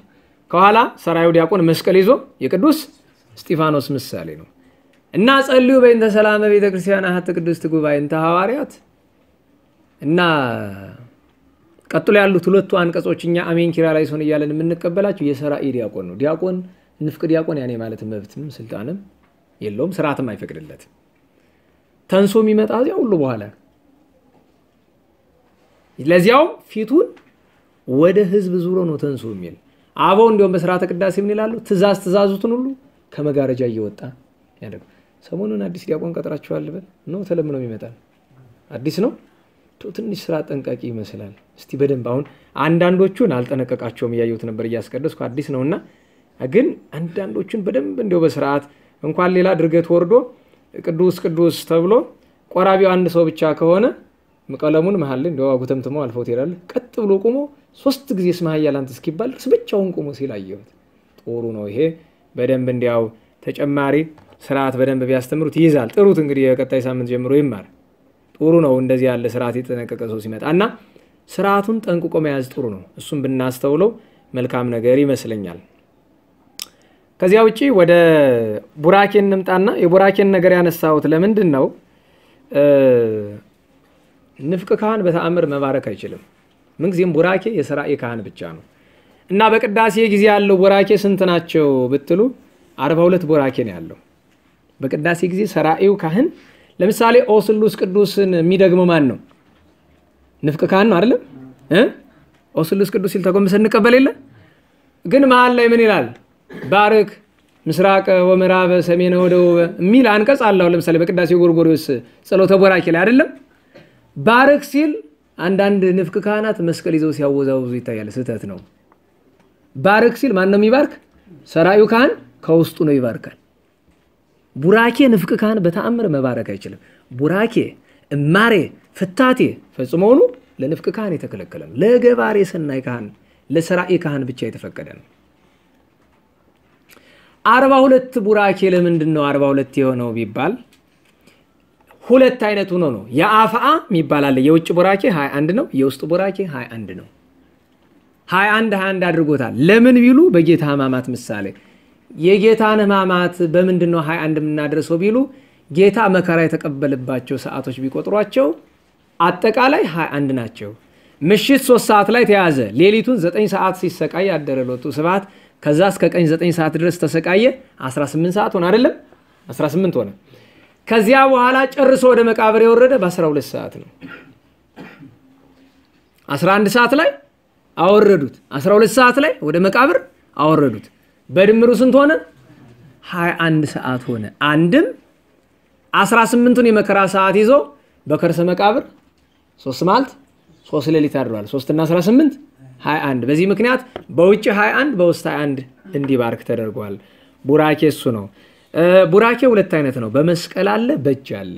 ካህን እስከሚታጠብ ድረስ እጁን በመስቀል ይባርካል። እጁን ከታጠበ በኋላ ግን በእጁ ነው የሚባርክ። ኋላ ድንገት እንዳልረሳው እንጂ ያልቆረበ ሰው የካህኑን እጅ መሳለም አይችልም። ደህና ዋላችሁ? ኧረ እንዴት ዋላችሁ? ብዙ ሰው ይህንን ትምህርት አንዳንዶቹ ትንሽ የተማሩት ሰምተው እንዲያው የምታስተምረው ትምህርት ሁሉ ሰው ቤተክርስቲያን እንዳይመጣ ነው የሚያደርገው፣ እንዲቀር ነው የሚያደርገው። እንደሱ አላልኩም እኔ። ለምሳሌ የማይቆርብ ሰው አያስቀድስም አይደል? ደህና ዋላችሁ? ኧረ እንዴት ዋላችሁ? የማይቆርብ ሰው ጻው ሲባል ወጦ መሄድ ነው። ወጠ ቤት አይደለም የምትሄድ፣ እዛፉ ላይ ነው የምትቆመው። ግን ይህን አድርጉ እያልኳችሁ አይደለም። አስቀድሱ፣ ግድ የለም ላትቆርብም ቢሆን አስቀድሱ። ግን ምን እያሰባችሁ ነው? ከጻው በኋላ ጌታ ሆይ ለቁርባን አብቃኝ፣ ለቅዱስ ሥጋ ለክቡር ደም አብቃኝ፣ ስርዓትህን ጥሼ ቁሜ እንደማስቀድስ አንተ ታውቃለህና እያልን ራሳችን እየወቀስ እናደርጉ። የምነግራችሁ ራሳችሁን እየወቀሳችሁ እንድታደርጉት ነው እንጂ እንድተውት አይደለም። ወጥተህ ሄድክማ ጋኔን ተቀብሎ ወዲያ እሳት ነው የሚጥልህ። ወጥተህ እንዳትሄድ ይህን አልመክርም እኔ። ምክንያቱም መንፈሳዊ ሰው ብትሆን ውጣልህ ነበረ። ምክንያቱም ወጥተህ በአጸዱ ነው ታለቅሳለህ። ጌታዬ እባክህ ለዚህ ማድረግ አብቃኝ ብለህ በማግስቱ ንስሐ ገብተህ ምን ብለህ መጥተህ ትቆርብ ነበረ። ግን የእኛ ሰው ለምሳሌ እዚያውን የተወሰናችሁትን መርጬ ውጡ ብዬ ከጉባኤ ባባራችሁ ተመልሳችሁ ትመጣላችሁ። በኃጢአት የወጣሁኝ ጌታዬ ኧረ መልሰኝ ብለህ በማግስቱ እየለመንን እንዲያው አባ ዮሐንስ አፂርን እስኪ ያስታውሱት። አባ ዮሐንስ አፂርን የኔን ፈተና ካልቻለ የሰይጣንን አይችልም ብሎ የመምህሩ አባ ባይሞይ ጠዋት ይጠሩታል ና ይሉታል። ፍልጥ አንስተው ሙልጭ አድርገው ይደበድቡታል። በፍልጥ ሂድልኝ እዚህ ገዳም እንዳላይ ውጣልኝ ብሎ አባረው ይሰዱታል። አሁን እኛ እንደዚህ አይደለም። ፍልጥ እንጂ እኔ የፈሊጥ አነጋገርም ያናዳችኋል አይደለም። ሄዶ ከገዳሙ በር እልፍ ብሎ ጥቂት ያለቅሳል። ጌታዬ እኔ ግን አንተን እበድልሃለሁ፣ መምህሬን አስቀይማለሁ፣ እባክህ ልብ ስጠኝ እያለ ሲያለቅስ ሲያለቅስ ብሎ ማታ መጥቶ አባቴ ይቅር ይበሉኝ ያስገቡኝ ማደሪያ የለኝ ብሎ ይገባል። እንደገና በማግስቱ ና ይሉታል። ይመጣል። በፍልጥ ሙልጭ አድርገው ገርፈው ሂድልኝ ከገዳሙ ብሎ ያባሩታል። ሰባት ቀን እንዲያርገው ደብድበውታል። በሰባተኛው ቀን ሊደበድቡ ሲወጡ የእግዚአብሔር መላእክት ሰባት ሊቃነ መላእክት ወርደው ክንፋቸውን ጋርደው ታባህና ትነካው ነው ነገሩ። ንጹሕ ነዋ ቅዱስ ዮሐንስ አፂር እና ስታስቡት አሁን እዚህ ውጡ ብትባሉ ምክንያቱም ጉባኤ ቅዳሴና ጉባኤ ብዙዎቻችሁ የምትቀሩ እንደ ራ ቄሱ እንዲህ እያደረገ ምናምን ትላለህ። ዘማ አንተ ዘማ አይደለህ ራስህ በቀን አርባ ሴት ስትመኝ እየዋልክ ቄሱ እንዲህ አድርጎ ትላለህ። ምን አቅም ኖሮ ነው ቄሱ እንዲህ አድርጎ የምትለኝ? ራ እሱማ ምን ጉባኤ ላይ ብሎ መቆጣት መቆጣት መሳደብ እንደው ቃል እግዚአብሔር አያውቅ ዝም ብሎ ስድብ ነው ስራው ትላላችኋ። ሰማለሁ እኮ ወንድሜ ስድቡ ነው የሚሻለህ። ግብፃውያን አበው ምን ይላሉ? ከሚያመሰግን ሳይሆን ከሚሰድብ ጋር ዋል ይላሉ። ክብር አይቀንስም፣ ክብር ላይ ክብር ነው የሚጨመርልን። ተግሳጸን እንውደዳት። ስለዚህ እየጸጸተንም ቢሆን እናስቀድስ። ከዚያ ቀጥሎ ሁለተኛ ስርዓት ያልቆረበ ሰው የካህኑን እጅ መሳለም አይችልም። ግን እያዘናችሁም ተሳለሙ፣ እያዘንን እንሳለም። ሶስተኛ ቅዳሴ ላይ የተቀደሰበትን ጸበል ማይ መቆረር ስለሆነ መጠጣት አትችልም። ከነስሙም የእሳት ማብረጃ ነው የሚባለው። እሳት ምንድን ነው? ቅዱስ ስጋው ክቡር ደሙ ነው። ሳትቀበል ሳትቆርብ ምኑን ታበርደዋለህ ወንድሜ? ምኑን ታበርጀዋለሽ እህቴ? ግን ያችን ጸበል ስትጠጧት አበው እኮ አውቀው ነው የፈቀዱ። ምን አሉ? በቃ የማይቆርብም ቢሆን ያስቀድስ፣ ተስፋ እንዳይቆርብ አንድ ቀን ከቁርባን ይደርሳል። የማይቆርብም ቢሆን የካህኑን እጅ ይሳለም፣ አንድ ቀን በቁርባን ይደርሳል። የማይቆርብም ቢሆን ጸበሏን ይጠጣ፣ አንድ ቀን ይደርሳል እያሉ ስለ ቅንነታቸው ይህንን በቃልም ቢሆን ወስነው ስርዓት ሰርተው አልፈዋልና እችን አደራ እንላለን። ሌላኛው ዑደት ነው። የካህንና የዲያቆን ዑደት የተለያየ ነው። ካህን ዑደቱ ሰባት ጊዜ ነው። ዲያቆን ዑደቱ ሶስት ጊዜ ነው። የካህን ዑደቱ ሰባት ጊዜ መሆኑ ካህኑ በቅዳሴ ጊዜ ቅዳሴ የሚገባ የሕዝቡን የኃጢአት ቅጥር አፍርሶ ምድረ ርስት የሚያስገባውን ቅዱስ ሥጋውን ክቡር ደሙን ለመስጠት ነው። ካህኑ የኢያሱ ምሳሌ፣ ሕዝቡ የእስራኤላውያን ምሳሌ ነው። ኢያሱ የኢያሪኮን ቅጥር ሰባት ቀን ዞሮ ቅጥረ ኢያሪኮን አፍርሶ ነገሥተ ኢያሪኮን አጥፍቶ ሕዝቡን ርስት አውርሷቸዋል። ካህኑም በቅጥረ ኢያሪኮ የተመሰለ ኃጢአትን በነገሥተ ኢያሪኮ የተመሰሉ አጋንንትን ፍትወታት እኩያትን ድል አድርጎ ሕዝቡን ለሥጋው ደሙና ለርስት ለመንግሥተ ሰማያት ለማብቃት ነው። ለዚህም አብነቱ ምንድን ነው? ካህኑ አጥኖ ሲመለስ ስብሐት ወክብር ለስሉስ ቅዱስ የሚለውን ጨርሶ ሲመለስ ምንድን ነው የሚለው? በከማናል ከቅድመ ጥቅማ ለኢያሪኮ በድያሱ ገብርከ ከማሁ ይዜ አንህል ጥቅመ ኃጢአቴ ወኃጢአተ ኩሉ ሕዝብከ እያለን የሚገባ በኢያሱ እጅ የኢያሪኮን ቅጥር እንዳፈረስክ የኔን እና የወገኖችን የሕዝቡን የኃጢአት ቅጥር አፍርስልን እያለን የሚገባ በዚህ ምክንያት ካህን ሰባት ዑደት አለው። ዲያቆን ሶስት ዑደት አለው። ዲያቆን ሶስት ዑደት ያለበት ምክንያት የጌታ ስብከት ምሳሌ ነው። ጌታችን ሶስት ዓመት ዞሮ ወንጌልን ስላስተማረ የዚህ አብነት እግረ መንገዱን ሳረሳት ልንገራችሁ። ዑደት የዲያቆን ዑደት በአንዱ ሶስት ነው። ለምሳሌ ቅዳሴ ሲገባ ዲያቆኑ ደሙን ይዞ ይዞራል አይደል? እግዚአብሔር እያለ ይዞራል አይደል? ቀለሙን እስክትጨርሱት አይደለም የምትዞሩት። የግዱን ስንቴ ነው የሚዞር? ሶስት ጊዜ ነው የሚዞር። አንድ ማለት እሱ ነው። በውስጡ ሶስት አለው። ራሱን ችሎ አንዱ ዑደት ሶስት አለው። እንደገና ቀጥሎ በይንተ ቅድሳትን ካነበበ በኋላ ጸልዩ በይንተ ሰላም ቤተክርስቲያን እያለ ሶስት ነው። በይንተ ሰላመ ቤተክርስቲያን ሲል አንድ ዙር። በነገራችሁ ላይ ቅዳሴ ጊዜ በይንተ ቅድሳት ሲነበብ አሜን ኪራ ላይሶን እግዚኦ ተሳለን እንላለን አይደለም? ኪራ ላይሶንና እግዚኦ ተሳለን እኮ ያው ነው። ትርጉሙን አብለን እንለዋለን አይደል? አሜን ኪራ ላይሶን በቂ ነው ወይ አሜን እግዚኦ ተሳለን በቂ ነው። ግን አሜን ኪራ ላይሶን እግዚኦ ተሳለን ብንል ግን ጥፋት ግን አይደለም። ከምስጢር አንጻር ከጠየቃችሁኝ ግን ቅዳሴ ላይ እኮ የተጻፈው አብራችሁ በሉት አይደለም፣ ትርጉሙን እየነገረን ነው። ኪራ ላይሶን ይላል፣ በጎኑ ምን ይላል? እግዚኦ ተሳለን። አንዳንዱ የኔ ቢጤ ዲያቆን ደግሞ በእንተ ቅድሳ ሰላማዊ ሰላመ ናስተበቁ ከመግዚአብሔር ያስተሳለመን በሳይለ ዚያው ለለ አሜን ኪራ እግዚኦ ተሳለን ይላል። በሱ አው ለለ የሚለው ለትእዛዝ እኮ ነው። በየምዕራፉ በየአንቀጹ በሉ ነው። እሱ ግን የዛው አንቀጽ አድርጎ ነው የሚያስበው። ልክ ንበል ኩልነ የሚለውን አብሮ እንደሚለው ማለት ነው። አውሱ ካለ ንበል ኩልነ የለም። እሱም ብቻ አይደለም ጸሎትን ለውስተ ንስሐ አሎክሙ ሲባል ከሁሉ ላይ ያስገድ ጸሎት የሚል ቃል ቅዳሴም የለ እዚህ ትምህርት ህም እንደሚመጣን ያላውቅም። ጸሎት ለውስተ ንስሐ ሀለውክሙ አትቱ ርእሰክሙ የሚለው ጸሎት የሚል ቃል እኮ የለ መጽሐፍ ላይ ቅዳሴ ጥሬ ዘሪው የለ ትርጓሜ ላይ የለ። ዝም ብሎ ለውስተ ንስሐ ነው ቃሉ። ሁለተኛ ዑደት እሷ ናት። ሶስተኛ የዲያቆን ዑደት ኋላ እንደገና ደግሞ ንባብ ካለቀ በኋላ ዝውቱ በተባሬው ከመባለው በፊት አሁንም ጸልዩ በእንተ ሰላመ ቤተክርስቲያንን ይደግማታል። እነዚህ ናቸው ሶስት ዑደቶቹ በየራሳቸው ሶስት ሶስት ያላቸው ሶስት ዑደት ብትደምሯቸው ዘጠኝ ይሆናሉ። እንግዲህ የዘጠኙ ሊቃናት ምሳሌ ነው። አንድም ርስትን ትቶ የዘጠኙ ዓለማተ መላእክት ምሳሌ ነው። ግን ዋናው ሶስትነቱን ነው የምንፈልገው። ሶስት ዓመት ጌታ ዞሮ ስላስተማረ ዲያቆኑ ሶስት ጊዜ ዑደት ያደርጋል። ሌላኛው እማሬ ነው። እማሬ ማለት አመረ ማለት አመለከተ ማለት ነው። እማሬ ማለት ካህኑ ወደ ምስጢር እያመለከተ የሚጸልያቸው ጸሎቶች አሉ፣ የሚያመሰግኑ ምስጋና አለ እና ቅዳሴ ላይ እማሬ እማሬ የሚለው በዛች ሰዓት ላይ ሲደርስ ጣቱን እንደዚህ በትምህርተ መስቀል አድርጎ እያመለከተ ስብሐተ እግዚአብሔርን አስተብቆቱን እንደዚያ እያመለከተ ያደርጋል። እማሬ የሚደረገው 11 ጊዜ ነው። እማሬ ካህን 11 ጊዜ ወደ ምስጢር ያመለክታል ሲቀድስ። ያ እማሬ የአስሩ የአስሩ ህዋሳት ምሳሌዎች ናቸው ይላል። የአስሩ ህዋሳት ብቻ አይደሉም፣ ሌሎች ምሳሌዎችም አሏቸው። የአስሩ ቃላት፣ የአስሩ ማዕረጋት፣ የአስሩ ከተሞች እየተባለ ይመሰላል። ግን ዋናው የአስሩ ህዋሳት ናቸው። አስራ አንደኛዋ የግዕዝ ርትዕት ናት። ግዕዝ ርትዕት የሰው ልጅ መንፈስ ቅዱስ ሲያድርበት አስሩን ህዋሳት ወስኖ ገቶ የሚይዝባት ናት። ግዕዝ ርትዕት የቀናች ጠባይ ማለት ናት። የቀናች ጠባይ አስራ አንደኛዋ በጌታ ምክንያት በአምላክ ሰው መሆን ምክንያት ያገኘናት በብሉይ ኪዳን ያልነበረች ግዕዝ ርትዕት የቀና መንፈስ ቅዱስ ዳዊት ይናገር የለም መንፈሰ ርቱዐ ሐድስ ውስተ ከርሥየ የቀናውን መንፈስ በልቦናዬ ላይ አድስ ብሎ እንደተናገረ እና የእሱ ምሳሌ ነው። የመጨረሻ ለዛሬ የምናደርገው እንግዲህ ቡራኬ ዑደት እማሬ ካየን ዘንድ የመጨረሻ የሚሆነው በቅዳሴ ጊዜ ስንት ጊዜ ዕጣን ይታጠናል፣ ስንት ቆቁር ዕጣን ያደርጋል የሚለው በተደጋጋሚ ኮርስ ከወሰዳችሁ ሰምታችሁት ይሆናል። በቅዳሴ ጊዜ ዕጣን ከሁለት ቦታ ነው የሚቀመጥ።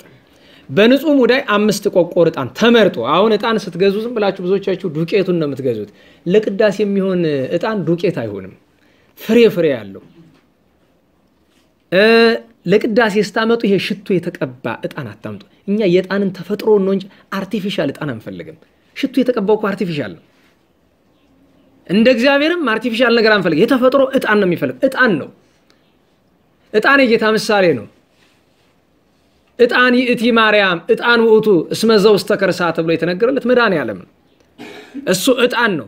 በዚያ ዕጣን ላይ የተለየ ሌላ ሽቱ ዕጣኑ ሽቱ የሌለ ሆኖ ሌላ ሽቱ የምንቀባው የጌታ መዓዛ መለኮቱ አልበቃ ብሎ ሌላ መዓዛ ያስፈልገዋል። ጌታ የዕጣን የተፈጥሮ መዓዛው መዓዛ መለኮቱ ነው። ስለዚህ ዕጣን ስትገዙ ብትችሉ ፍሬ ፍሬ ያለው ዕጣን ግዙ። በተለይ ለቅዳሴ የሚሆን ወስ ነው። ለሌላ አገልግሎት እንኳ ችግር የለውም የደቀቀውም ቢሆን። ለምን ብትሉ አምስት ፍሬ ፍሬ የሆኑ ቆቆር ዕጣኖችን መርጦ ያስቀምጣል ካህን። ቅዳሴ ሲገባ መጀመሪያ አምስት ቆቆር ዕጣን ይመርጣል። እነዚህ አምስቱ ቆቆር ዕጣኖች የምን ምሳሌ ናቸው ቢባል አንደኛ የአምስቱ ቅንዋት ምሳሌ ናቸው። ቅዳሴ የምንቀድስ የክርስቶስ ሥጋና ደም ለመፈተት ነው አይደለም? የክርስቶስ ሥጋ የተፈተተው በአምስት ቅንዋት ነው አይደለም?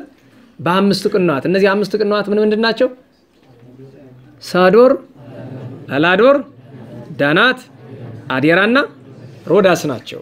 በእነዚህ ምሳሌ አንድም የአምስቱ ምስጢራት ምሳሌ አምስቱ አዕማደ ምስጢር አሉ አይደለም? በቅዳሴ ጊዜ የሚነገሩ አምስቱ አዕማደ ምስጢር ናቸው። ምስጢረ ሥላሴ፣ ምስጢረ ሥጋዌ፣ ምስጢረ ጥምቀት፣ ምስጢረ ቁርባንና ምስጢረ ትንሣኤ ሙታን ናቸው። የእነሱ ምሳሌ ነው። አንድም የአምስቱ ሕዋሳት ምሳሌ ነው። የሰው ልጅ ስንት ሕዋሳት ነው ያሉት? አምስት የውስጥ አምስት የአፍአ።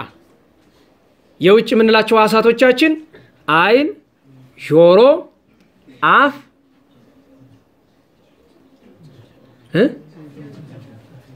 ቆይ ጆሮ አንድ ነው። ዓይን ሁለት ነው። አፍንጫ ሶስት ነው።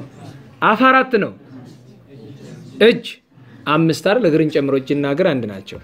ለምንድን ነው አምስት ቆቆር ዕጣን በአምስት ሕዋሳት የሚመረጠው ቢባል በአምስቱ ሕዋሳት የሰራነውን ኃጢአት ለማስተሰረይ ነው። አንድም የአምስቱ ኪዳናት ምሳሌ ነው የሚለው መጨረሻ እናደርገዋለን። አምስቱ ኪዳናት ምን ምንድን ናቸው ቢሉ የመጀመሪያው ቁርባነ አቤል ነው። ለክርስቶስ ምሳሌ የሆነው የአቤል ቁርባን መዓዛው ቅድመ እግዚአብሔር ሸቷልና በዚያ ምሳሌ አንድ ቆቆር ዕጣን ይመርጥለታል። ሁለተኛው መስዋዕተ ኖህ ነው። የኖህ መስዋዕት ጌታ አሽቶ የሰውን ልጅ ዳግመኛ አላጠፋም ብሎ ቀስተ ደመና የዘረጋ በዚያ በመስዋዕቱ መዓዛ ነው። ሶስተኛው ክህነተ መልከ ጼዴቅ ነው። የመልከ ጼዴቅ ክህነት እሱን ከሞት የጋረደ አብርሃምን ከመባረክ ያደረሰ የክርስቶስ የወልደ እግዚአብሔር ምሳሌ እንዲሆን ያደረገውና ሶስተኛዋ ቆቆር ዕጣን በክህነተ መልከ ጼዴቅ ምሳሌነት ታደርጋለች። አራተኛዋ ቆቆር ዕጣን ምሳሌነቷ ለመስዋዕተ አብርሃም ነው። አብርሃም ልጁን ይስሐቅን ለመስዋዕትነት አቅርቦታል። በበግ ቤዛ አድርጎለታል። አራተኛው ኪዳን እሱ ነው። አምስተኛው ኪዳን ክነተ ሙሴ ወአሮን ነው፣ ወይም ተልኮተ ሙሴ ወአሮን ነው። ሙሴና አሮን የነበራቸው ተልእኮት ቅድመ እግዚአብሔር ቢደርስላቸው ደመና ጋርደዋል፣ መና አውርደዋል፣ ውሃ አፍልቀዋል፣ ባህር ከፍለዋል፣ ጠላት አጥፍተዋል። ይህ ሁሉ ተደርጎላቸዋል። በእነዚህ በአምስቱ ኪዳናት ምሳሌ አምስት ቆቆር ዕጣን።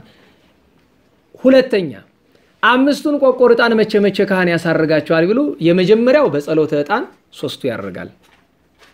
ጸሎተ ዕጣን ማለት ወይም ቅዱሳን ከተደገመ በኋላ ኋላ ካህኑ ንስግድ የሚለው እያጠነ በእነዚያ በሶስቱ ነው። ሶስቱ ለስላሴ ምሳሌዎች የሆኑ ሶስቱ የዚያን ሰዓት ያደርጋሉ። አራተኛዋ ጸሎተ ወንጌል ላይ ታደርጋለች። ጸሎተ ወንጌል ላይ ካህኑ አይታችሁ ከሆነ ዲያቆናት ውስጥ ስለሆናችሁ ይታያችኋል። አንዷን ቆቆር በዛች ሰዓት ነው የሚያስገባት ጸሎተ ወንጌል ላይ። ምክንያቱም ውህረተ ዕጣን ይባላል። ውህረተ ዕጣን ማለት ዕጣን አምልኮ ነው። ደጋግሜ ተናግሬ ያለው ዕጣን ሰው ቤት አይጨስም፣ ከግለሰብ ቤት አይጨስም። ቤተ እግዚአብሔር ብቻ ነው የሚጨሰው። ያውም በካህን እጅ ነው። ያውም ጸሎተ ዕጣን ተደግሞ ነው። ውግረተ ዕጣን ነው፣ አምልኮ ነው። ለእግዚአብሔር በቀር ለማንም አይደረግም። ዕጣን ለእግዚአብሔር ነው የሚደረገው።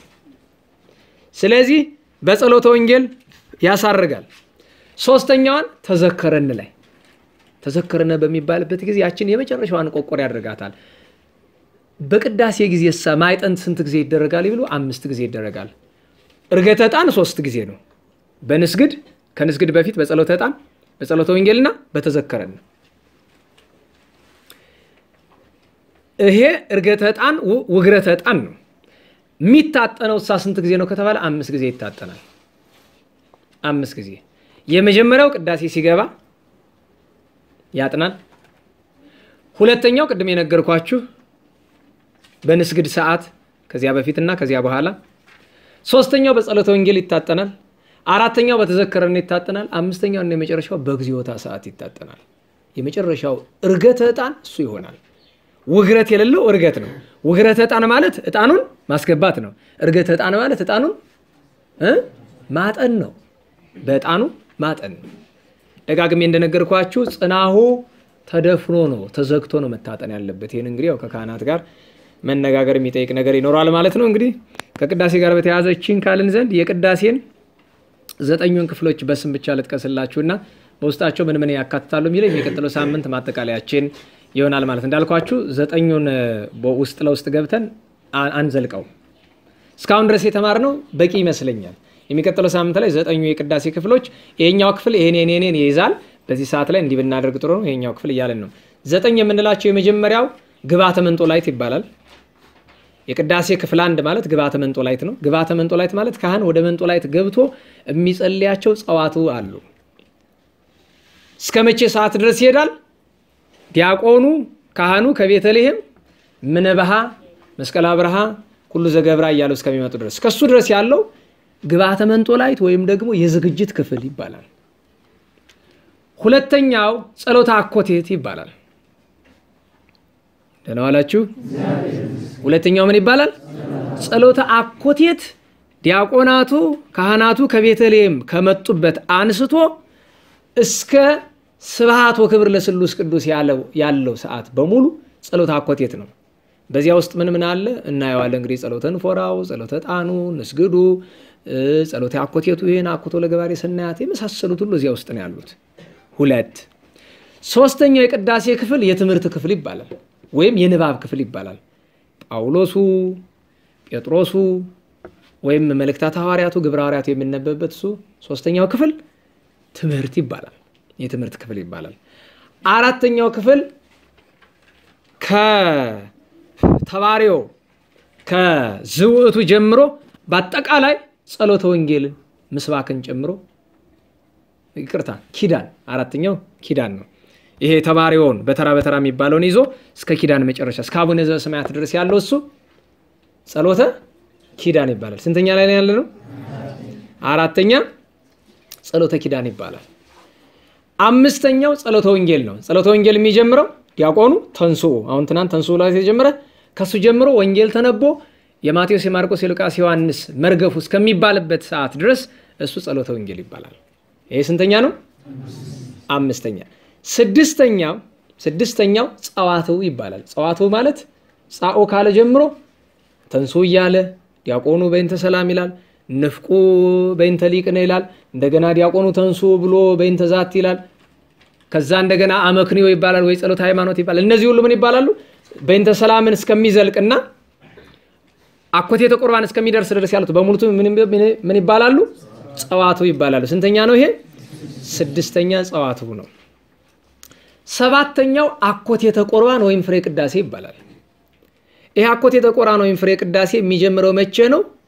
ወንት መጦ እንበለ ኩነኔ መሀብትከ ቅድስት ብሎ ያነሳና ከዚያ አኮቴተ ቁርባን ዛበዊነ ሐዋርያት መጽሐፈ ኪዳን ዘነገሮሙ እግዚእነ አምላክነ መድኃኒነ ኢየሱስ ክርስቶስ ዘዮሐንስ ወልደ ነጎድጓድ ዘግዝእትነ ማርያም እያለ ከሚያነብባት ሰዓት ጀምሮ አኮቴተ ቁርባን ይባላል ወይም ፍሬ ቅዳሴ ይባላል። ሰባተኛው።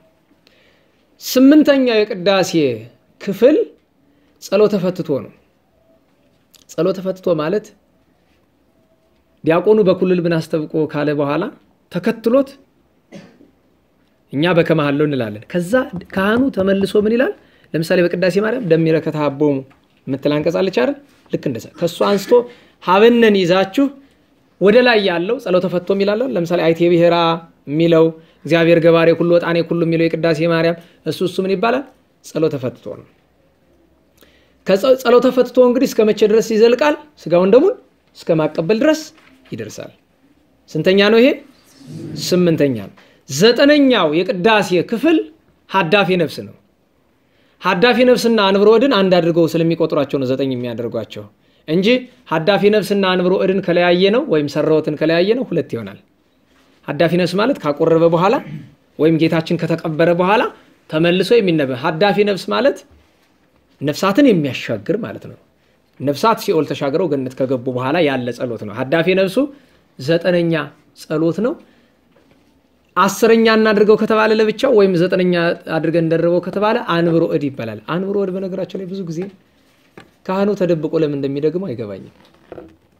አንብሮ እድ ሲደገም ሰምታችሁ ታውቃላችሁ? እንዴት ዋላችሁ? ኧረ እንዴት ዋላችሁ? አንብሮ እድ ለህዝብ ነው የሚደገመው። አንብሮ እድን ሲደግም ካህኑ እንዲህ አድርጎ ነው የሚደግመው። ለምንድን ነው እንዲህ የሚያደርገው? አንደኛ በትምህርተ መስቀል እንደ ቡራኬ ያለ ስለሆነ፣ ሁለተኛ ሁሉን ምእመን ምክንያቱም አንብሮ እድ የሚደረሰው እንደዚህ ተደርጎ ነው። ራሱ ላይ እጁን ጭኖ ነው የሚያደርሰው። ሁሉ ምእመን ላይ ማድረግ ስለማይችል በሁሉ ራስ ሁሉ ተጎንብሶ እንደዚህ አድርጎ ረቦ ነው የሚያነበው። አንብሮ እዱን ካነበበ በኋላ ነው እዚያ መልክዓትም ውዳሴ ማርያም ተደግሞ አድኑ ተብሎ ሰሮት እቶ በተላም እስከሚባል ድረስ ያለው እሱን ዘጠነኛም ብትሉት ከሀዳፊ ነፍስ ጋር ቆጥሮ አስረኛም ብትሉት ከሀዳፊ ነፍሱ ለይቶ ሰርሆት አንብሮ እድ ይባላል። የቅዳሴ ክፍሎች እነዚህ ናቸው። ለዛሬ ከረጅም ባጭር ከሙሉ በክፍል ይሄ ይበቃናል። የዛሬ እንግዲህ ከአባታችን ከቅዱስ ናትናኤል ባሻገር ቅዱስ ብስንዳ መላእክት ስለ ንጽህናው ተሸክመውት በሰረገላ ይዞሩት የነበረ ግብፃዊ ጻድቅ ነው። አባታችን ብስንዳ ከላዲያኑ ሊቀ ጳጳሳት ዓመታዊ በዓላቸው ነበረ። ዕፀ መስቀሉን ብዙ ጊዜ እንረሳዋለን። በእውነት ዕፀ መስቀሉን ከአሁን ከጌታ ቀጥሎ እንደ እግዝእትነ ማርያምና እንደ መስቀል ይከበራል። እንዴት ዋላችሁ? ቅዱስ ሚካኤልን የምናከብርን ያክል የመስቀሉ በዓል ትዝ አይልንም አይደል? አይደል? እናክብረው። ዕፀ መስቀሉን እናክብረው። በአስር በአስር እናክብረው።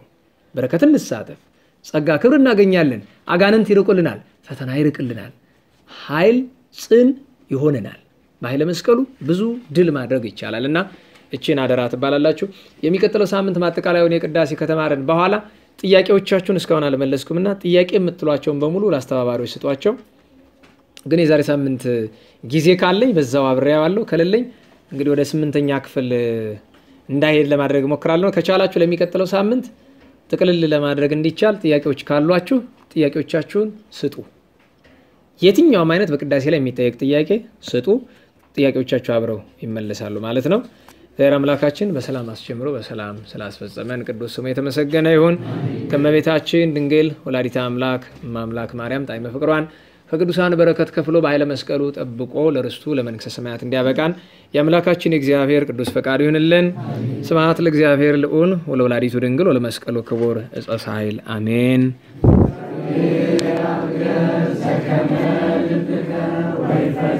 ለከ ሁሉ